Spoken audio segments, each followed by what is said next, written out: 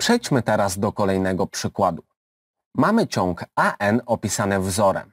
AN równa się n do potęgi czwartej odjąć n do potęgi drugiej.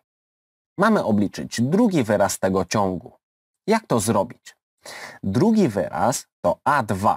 Aby obliczyć A2, w miejsce litery n w tym wzorze wstawiamy liczbę 2. A2 równa się zatem 2 do potęgi czwartej odjąć 2 do potęgi drugiej. To równa się 12. Spróbuj teraz samodzielnie obliczyć pierwszy i czwarty wyraz tego ciągu.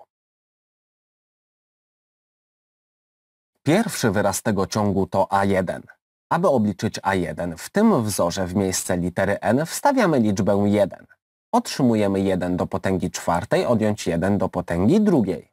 To równa się 1 odjąć 1, a to wynosi 0. Pierwszy wyraz tego ciągu to 0. A jaki jest czwarty wyraz tego ciągu?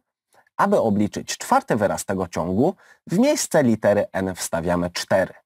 A 4 równa się zatem 4 do potęgi czwartej odjąć 4 do potęgi drugiej, a to równa się 256 odjąć 16, a ta różnica wynosi 240.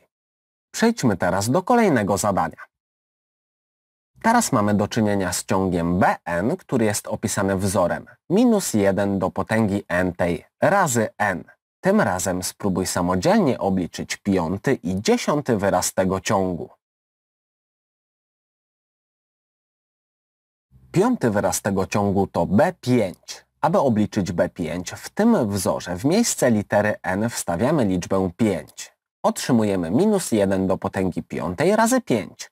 Minus 1 do potęgi piątej to minus 1, a to pomnożone przez 5 daje nam minus 5. To jest piąty wyraz tego ciągu.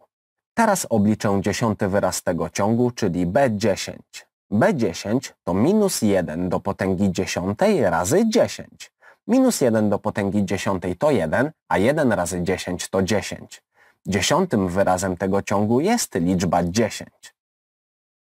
Przejdźmy teraz do ostatniego zadania.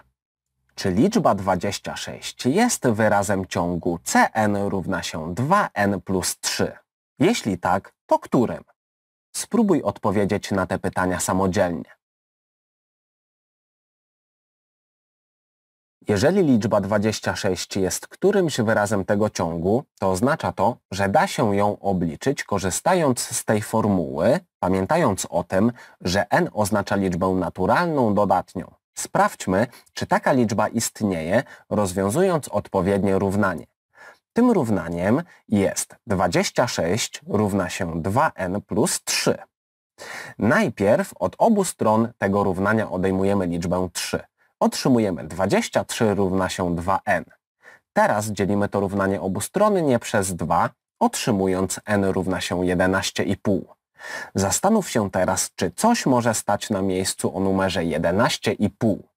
No nie, dlatego liczba 26 nie jest wyrazem tego ciągu. Nie musimy odpowiadać na pytanie jeśli tak, to którym, bo liczba 26 nie jest wyrazem tego ciągu.